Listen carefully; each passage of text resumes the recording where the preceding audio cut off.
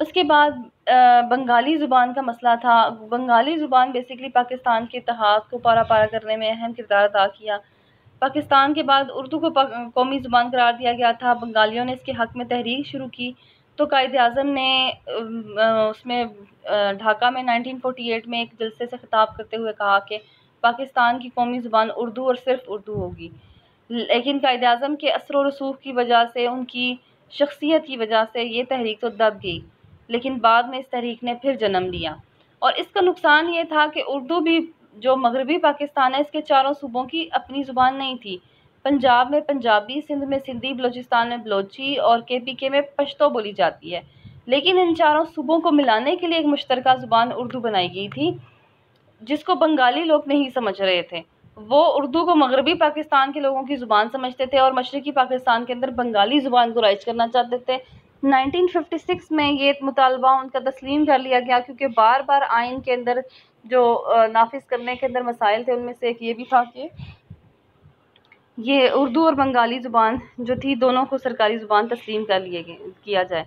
तो फिर एंड पे उनका ये मुतालबा तस्लीम कर लिया गया और इस बंगाली को सरकारी ज़ुबान बना दिया गया, लेकिन इससे बंगालियों की नफ़रत किसी तरीके से भी दूर ना हो सकी।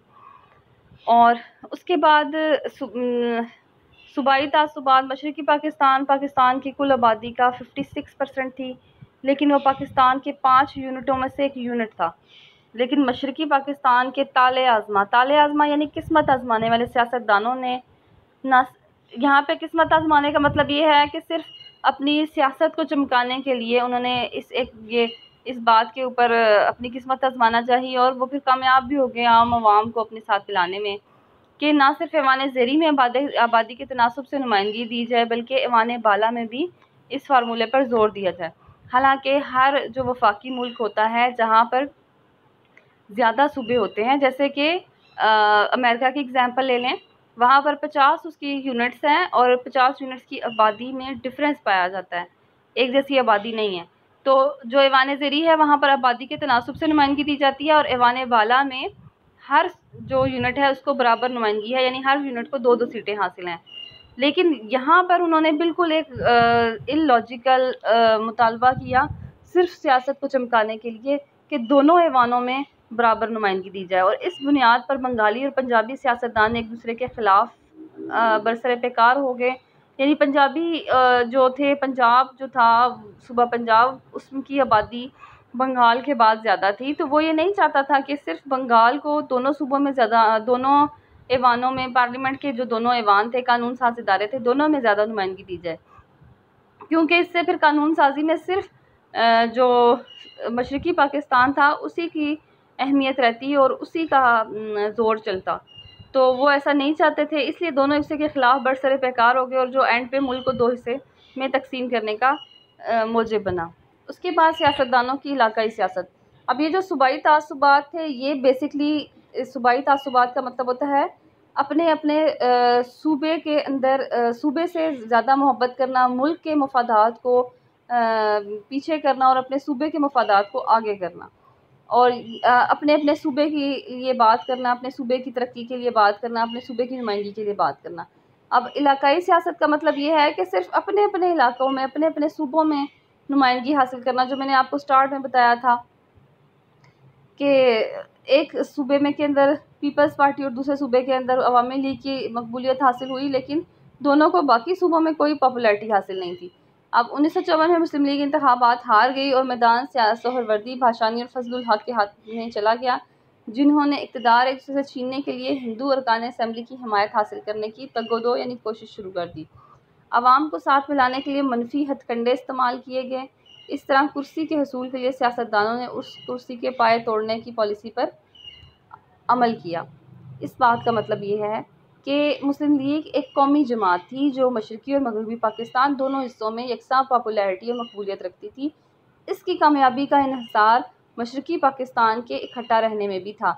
लेकिन जब ये जमात हार गई तो जो इलाकाई सियासतदान थे, जो मशरक़ी पाकिस्तान से ताल्लुक़ रखते थे उनके पास इकतदार आया। और फजल हक भाषानी सोहरवर्दी, ये वो सियासतदान थे जिन्होंने सिर्फ़ इकतदार को हासिल करने के लिए जो हिंदू अरकान असम्बली बैठे हुए थे, मशरक़ी पाकिस्तान की असम्बली में, उनकी हिमायत हासिल करने के लिए कोशिशें की। वो क्योंकि सियासी तौर पर भी रिच थे, उनसे और उनकी हिमायत हासिल करके वो ज़्यादा सियासी मैदान में ज़्यादा आगे आ सकते थे। और इसलिए फिर उन्होंने आवाम को साथ बनाने के मनफी हथकंडे यानी गलत किस्म के प्रोपोगंडे किए। जिससे आवाम के अंदर वो पॉपुलैरिटी हासिल कर सकें, आवाम के अंदर उनको मकबूलियत हासिल हो सके अपने इलाके की तरक्की के लिए और जो मशरक़ी पाकिस्तान है उसकी पसमानदगी को बढ़ा चढ़ा कर बयान करना, मगरबी पाकिस्तान की तरक्की को बढ़ा चढ़ा कर बयान करना, ये सारे मनफी हथकंडे उन्होंने इस्तेमाल किए ताकि वो कुर्सी हासिल कर सकें। और उस कुर्सी को तोड़ दिया उन्होंने, जिसकी ऊपर उनकी हुकूमत कायम थी, उसकी पॉलिसी पर कुर्सी के पाए तोड़ने की पॉलिसी पर अमल किया। इसका मतलब ये है कि जब एक चेयर के पीछे चार लोग उसके भाग रहे हैं और वो एंड पे उसी के चार हिस्से करके ले जाएँ, इन्होंने मशरक़ी पाकिस्तान के साथ यही किया कि उसकी इलाकाई हुकूमत या सूबे की हुकूमत जीतने के लिए पाकिस्तान के ही हिस्से कर दिए। उसके बाद है नेक्स्ट अयूबी आमराना दौर। अयूब खान का दस साल आमराना दौर पाकिस्तान पर मुसलत रहा। आमराना दौर यानी डिक्टेटरशिप पाकिस्तान में नाफिज रही, फ़ौजी हुकूमत रही। मुस्तकिल तौर पर नाफिज हंगामी हालत ने नौकरशाही को तहफ़ दिए रखा। यानी फ़ौजी हुकूमत थी, आपने आइन के स्टार्ट में पढ़ा कि बुनियादी हकूक़ शामिल ही नहीं थे। जब हकूक़ को शामिल किया गया तो बार बार मुल्क में एमरजेंसी लगाई जाती रही। हंगामी हालत या एमरजेंसी में लोगों को बुनियादी हकूक़ हासिल नहीं होते। और बुनियादी हकूक़ में नकलो हरकत की आज़ादी होती है, इज्तम की आज़ादी होती है, जलसा जुलूस मनद करने की तहरीर व तकरीर की आज़ादी। जब आवाम को ये सारी आज़ादियाँ हासिल नहीं थी और नौकरशाही यानी ब्यूरोसी यानी सरकारी अफसरान के ज़रिए उनको दबा कर रखने की पॉलिसियाँ अख्तियार की गई तो इसके लिए अंदरूनी तौर पर लोगों के लिए अंदर रद्द अमल पैदा हुआ। वो और मशरक़ी अवाम के जो, पाकिस्तान के, मशरक़ी पाकिस्तान के अवाम थे, इस संगीन हालत को बर्दाश्त ना कर पाए और लहदगी पर मजबूर हुए। अगर अयूब खान का दस साल दौर ना होता और पाकिस्तान में जमहूरीत होती तो मशरक़ी पाकिस्तान के अवाम को इलेक्शंस का मौका मिलता। उनको मुल्क के ख़िलाफ़, हुकूमत के ख़िलाफ़ तहरीर की, तकरीर की आज़ादी होती। वो अपनी जो इनसिक्योरिटीज़ थी, अपनी महरूमियाँ थी, उनको जलसे जुलूस के ज़रिए अखबार के ज़रिए मीडिया के ज़रिए हुकूमत तक पहुँचाते तो किसी हद तक कोशिश हो सकती थी कि उनकी इन महरूमियों को दूर किया जाए। लेकिन अयूब खान के दौर में मुसलसल जो हंगामी हालत थी उसने ब्यूरोसी को इतने तहफ़ दिया और, और उस ब्यूरोसी और सरकारी अफसरान ने आवाम को दबा कर रखा और लोगों के हकूक़ को दबाए रखा और एंड पर उसका ये हाल हुआ कि एकदम से ये लावा फटा और पाकिस्तान के दो हिस्से कर गया। उसके बाद है मुजीबुररहमान का छः नुकाती फार्मूला। मुजीबुररहमान का छः नुकाती फार्मूला मशरक़ी पाकिस्तान की अलहदगी के लिए जहर कातिल साबित हुआ। इस फार्मूले का सबब यह था कि सूबों को अलग रियासतें बनाया जाए और नीम वफाक कायम किया जाए।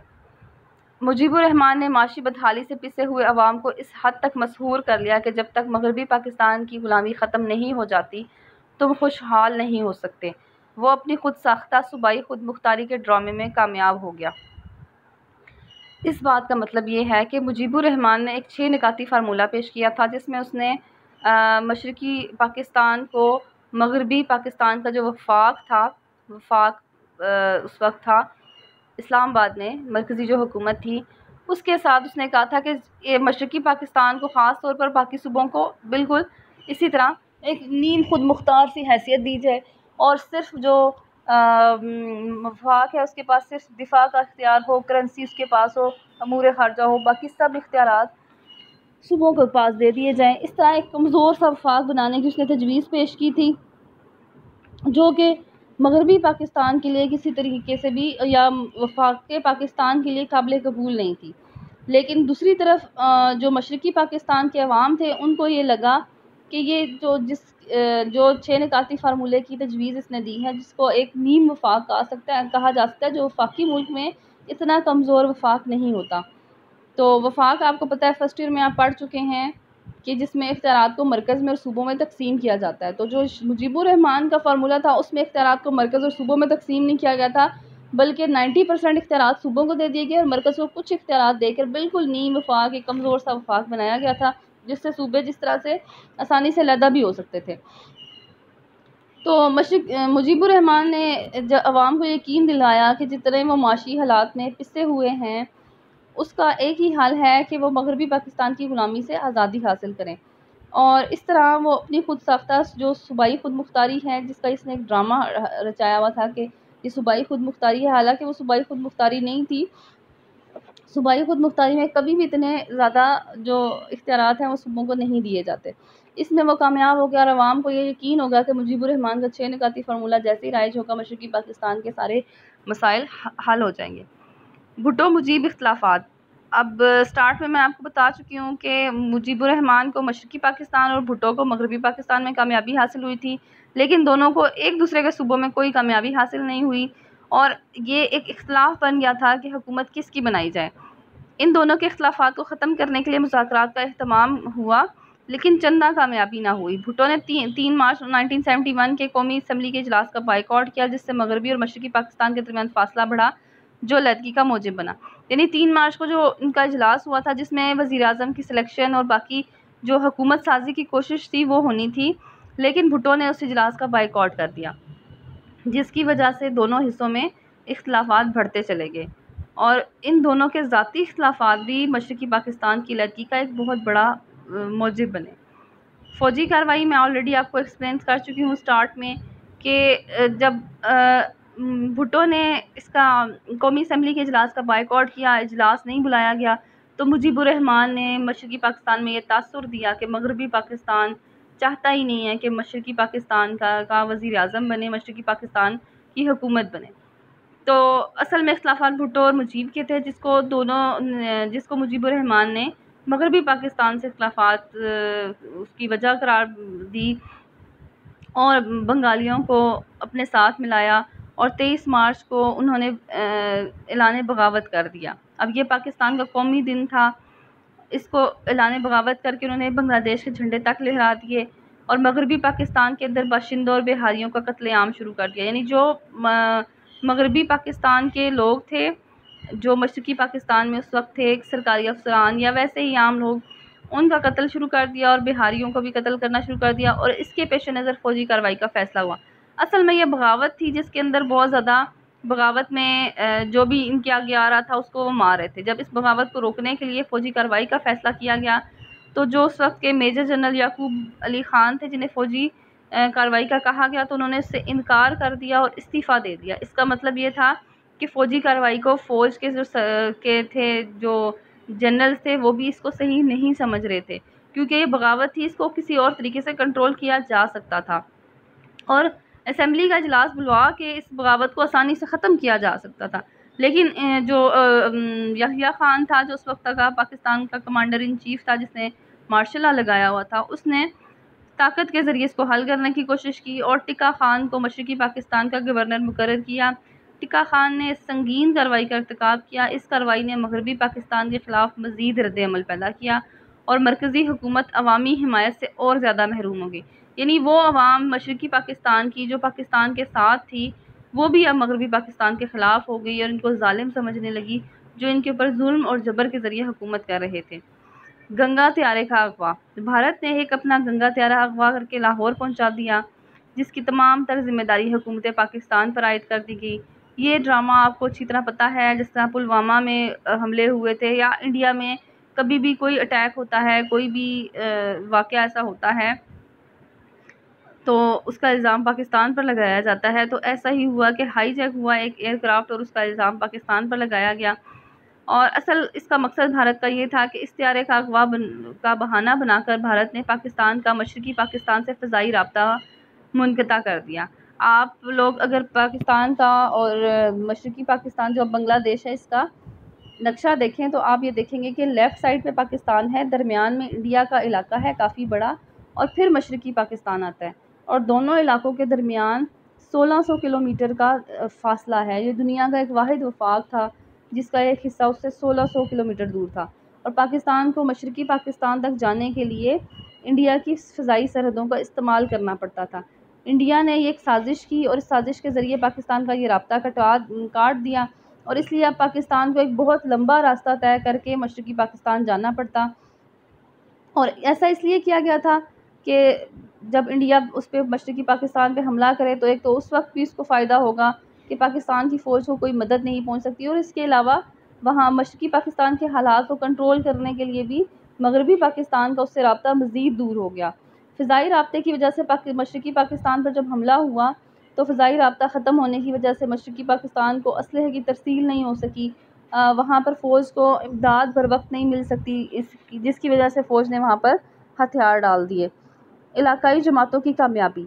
1970 के इंतबात में दोनों सूबों में किसी भी बड़ी जमात को आ, को कामयाबी हासिल नहीं हो सकी। ये भी मैं आपको ऑलरेडी एक्सप्लेन कर चुकी हूँ कि मुजीबर को मशरक़ी पाकिस्तान में और भुट्टो की पीपल्स पार्टी को मगरबी पाकिस्तान में कामयाबी हासिल हुई। सरहद और बलोचिस्तान में वली ख़ान की नैब ने और जमीयत इस्लाम हज़ारवी ग्रुप कामयाब रहा। कोई भी पार्टी ऐसी पार्टी नहीं थी इन तीनों पार्टियों में जो कौमी पार्टी कहला सकती या जिसको इकतदार सौंपा जाता।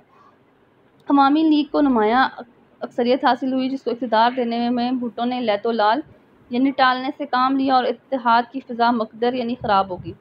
असल में जो 56 परसेंट आबादी थी वो मशरक़ी पाकिस्तान में थी और उस 56 परसेंट आबादी में तकरीबन 97 परसेंट जो 100 परसेंट के करीब है वो नुमाइंदगी हासिल कर ली थी मुजीबरहमान ने। तो आ, जो आ, है रूल के अकॉर्डिंग असूल के मुताबिक जो इकतदार था, वो इसी को दिया जाना चाहिए था मुजीबरहमान को। लेकिन ऐसा नहीं किया गया। भुटो ये उसको एक इकतदार देने को राज़ी नहीं था और भुटो को मगरबी पाकिस्तान के अंदर कामयाबी हासिल हुई थी। इसलिए ये एक मसला था जिसको जो हल ना हो सका। भुटो ने इसमें बहाने तराशना शुरू किए। वो ख़ुद को वजी, वो ख़ुद वजी अजम बनना चाहते थे, जिसकी वजह से दोनों जो थे इलाक़ों में इतिहाद जो था वो ख़त्म होकर रह गया और पाकिस्तान लहदा होने का, टूटने का बायस बना। उसके बाद भारत की फ़ौजी मुदाखलत, भारत की मुसलसल ख्वाहिश रही थी कि पाकिस्तान की सालमियत को किसी न किसी बहाने से कमज़ोर किया जाए। भारत ने अपनी सरहदों की हिफाजत का बहाना बनाकर मुक्ति बहानी के नाम पर तकरीबकार मशरक़ी पाकिस्तान में दाखिल किए और 22 नवंबर 1971 को मशरक़ी पाकिस्तान पर हमला कर दिया। यानी पहले भारत ने बहाना बनाया कि उसकी सरहदों की हिफाजत नहीं हो रही और उसको सरहदी ख़तरा है। मशरक़ी पाकिस्तान के बॉर्डर से और मुखदी बहानी के नाम से उसने जो टेररिस्ट थे, वो मशरक़ी पाकिस्तान में दाखिल किए और फिर बाद में मशरक़ी पाकिस्तान की सरहद पर हमला कर दिया। हालाँकि मगरबी पाकिस्तान के अंदर उसने कोई जंग नहीं छेड़ी। तो असल में लग लग भी ऐसे ही रहा था और ये हंड्रेड परसेंट बात थी कि भारत खुद चाहता था कि मशरक़ी पाकिस्तान अलहदा हो और उसने मशरक़ी पाकिस्तान की अलहदगी में उसकी मदद की थी, मशरक़ी पाकिस्तान की सरहद पर हमला करके। क्योंकि उसे यकीन था कि फ़ज़ाई रबता ख़त्म हो चुका है। मगरबी पाकिस्तान में जो फ़ौजी हैं, उनकी इमदाद, उनको असलहा और बाकी जो इमदाद है, वो जल्दी नहीं पहुँच सकेगी। दूसरी तरफ़ बंगाली अवाम पाकिस्तान के ख़िलाफ़ है तो उसने इन हालात का फ़ायदा उठाकर मशरक़ी पाकिस्तान के बॉर्डर पर हमला किया। और फ़ज़ाई तहफ़ ना होने की वजह से, जो वहाँ पर महसूर महसूर पाकिस्तानी महसूर यानी जिसका मुआसरा हो चुका था, मुआसरा इस लिहाज से कि उनके पास कोई मदद नहीं थी। पाकिस्तानी फ़ौज को शिकस्त का सामना करना पड़ा और उसे मजबूरन हथियार डालना पड़े, जिससे पाकिस्तान दो हिस्से हो गया। उसके बाद आता है बड़ी ताकतों की साजिशें। उस वक्त ऐसे लगता था कि जैसे बड़ी ताकतें भी ये नहीं चाहती थी कि पाकिस्तान के पाकिस्तान कायम रहे। इसलिए भी कि पाकिस्तान उस वक्त दुनिया की सबसे बड़ी आबादी के लिहाज से एक इस्लामी मुल्क था, एक बड़ी ताकत बन रहा था तो वो ये नहीं चाहते थे कि ऐसा हो। और इसका सबूत हमें इस तरह मिलता है कि भारत ने रूस के साथ बीस साल माहे पर दस्तखत किए। ये बीस साल दिफाई माहा था कि रूस भारत को असलहा देगा। इस माहे में जनूबी एशिया में रूस और भारत के मफादात को यकजा कर दिया। उनके मफादात किस तरह यकजा हो गए कि रूस ने भारत को असलहा फ्राहम करना था? और अगर भारत पर किसी भी तरह से हमला होता तो रूस उसकी मदद करता। रूस भारत को रूस से ज़रूरी कार्रवाई के लिए हसब ज़रूरत सामान और तकनीकी इमदाद हासिल हो गई यानी उसको माहे के ज़रिए मज़ीद इमदाद भी हासिल हो गई और इसके अलावा अमेरिका भी इन साजिशों में शामिल हो गया, जिसका सबूत ये मिला कि जब इसराइल ने अमरीकी साख्त का असलहा, यानी अमेरिका का से ख़रीदा हुआ और अमेरिका का बना हुआ असलहा भारत को फ्राहम किया तो अमेरिका ने कोई इतराज़ नहीं किया। इसराइल ने भारत को अमेरिका का बना हुआ असलहा दिया और अमेरिका ने इसके ऊपर कोई ऑब्जेक्शन कोई इतराज़ नहीं किया। लेकिन जैसे ही सऊदी अरब और उर्दन ने पाकिस्तान को अमेरिका का बना हुआ असलहा देने की ख्वाहिश ज़ाहिर की तो अमेरिका ने मना कर दिया। इस तरह से मशरक़ी पाकिस्तान की अलहदगी बड़ी ताकतों के गठ जोड़ का एक नतीजा भी थी। इसमें मज़ीद पॉइंट ये भी है कि उस वक्त मुजीबरहमान से गैर मुल्की सफारतकारों ने ख़ास तौर पर अमेरिका और जो रूस थे, उनके सफ़ीरों ने बार बार मुलाकातें की। तो उससे भी ये लगता था कि ये कोई आलमी साजिश थी। जिसकी वजह से मशरक़ी पाकिस्तान पाकिस्तान से अलग हुआ। ये सारे वो रीज़न्स थे जिनकी वजह से मशरक़ी पाकिस्तान पाकिस्तान का हिस्सा नहीं रहा। और ये एक काफ़ी पुरानी हिस्ट्री थी जो आहिस्ता आहिस्ता आगे चलती गई और दोनों हिस्सों को अलग करने का मौजब बनी। लेकिन इसका एक दूसरा पहलू ये है कि इसमें कई सॉरी फैक्टर्स थे जो वक्ती थे। अगर उनको वक्ती तौर पर काबू पा लिया जाता तो शायद एक कमज़ोर वफाकी से ही, लेकिन वक्ती तौर पर मशरक़ी पाकिस्तान एक नीम वफाक का हिस्सा बना रहता और बाद में उसको पाकिस्तान का एक वफाक का एक मज़बूत हिस्सा बनाया जा सकता था। अगर भुट्टो और मुजीबुररहमान के अखलाफ़ात को दूर करने की कोई सीरियस कोशिश की जाती, कौमी असम्बली का इजलास बनाया जाता और जो हुकूमत के इख्तियार थे या वज़ी अजम अगर मुजीबुररहमान को बना दिया जाता तो ये ये जो जितने भी ये हालात थे, इनको कंट्रोल किया जा सकता था।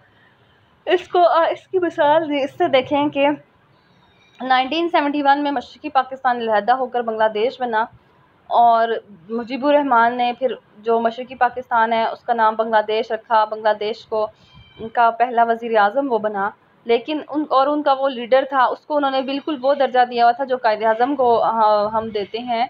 लेकिन इसका जो अंजाम था वो ये हुआ कि सिर्फ़ तीन साल बाद ही मुजीबुररहमान की हुकूमत ख़त्म हो गई और वहाँ पे जो फ़ौजी जनरल थे उसने हुकूमत संभाल ली। मुजीबुररहमान का, उसकी पूरी फैमिली समेत कत्ल कर दिया गया और अवामी सतह पर किसी किस्म का कोई रद्दमल देखने में सामने नहीं आया। और जो मुजीबुररहमान ने तीन साल में बांग्लादेश के लिए किया, उसकी जो पॉलिसीज़ थी वो जो बांग्लादेश थी उसकी आवाम थी, उसको किसी तरह से सेटिस्फाई नहीं कर सकी। यानी लोगों को पता चल गया कि उसके सिर्फ़ नारे ही थे। और अमली तौर पर वह कुछ भी करने के काबिल नहीं था, लोगों को ये हकीकत समझ आ गई थी। दूसरी तरफ़ ये देखा जाए कि बांग्लादेश के माशी हालात अभी तक वैसे ही हैं, जैसे कि उस वक्त थे। तो मशरक़ी पाकिस्तान के जो ख़ास तौर पर मुजीबुररहमान थे, उसने हमेशा ये तासर देने की कोशिश की ख़ास तौर पर सिक्सटी टू में जब इस्लामाबाद बनाया जूब खान ने कि मगरबी पाकिस्तान एक बहुत डेवलप एरिया है, यहाँ पे सनतें बहुत तरक्की कर गई हैं यहाँ का। जो दारकूमत है, वो बहुत अच्छा प्लान खूबसूरत है, तरक्की याफ्ता है। तो उसने ये तासर देने की कोशिश की कि जो भी बांग्लादेश की जो ज़र मुबादला आता है, वहाँ पे पटसन बहुत बनता था। वहाँ से जो ज़र मुबादला हासिल होता है, वो मगरबी पाकिस्तान की तरक्की पर लगता है। लेकिन जब ये दो कंट्री अलग हो गया तो तब भी इसकी जो माशी हालत थी, उसमें कोई ख़ास फ़र्क हमें नज़र नहीं आया। तो इससे बताने का मतलब ये है कि फ़्यूचर में, आने वाले वक्त में इस चीज़ ने उन पर भी वाजे कर दिया, लेकिन उस वक्त तक बहुत देर हो चुकी थी। मशरक़ी पाकिस्तान अब दोबारा पाकिस्तान का हिस्सा नहीं बन सकता था। तो इस तरह के जो वक्ती इख्लाफा थे, अगर उनको उस वक्त मैनेज कर लिया जाता तो शायद ये वाक़ ना होता।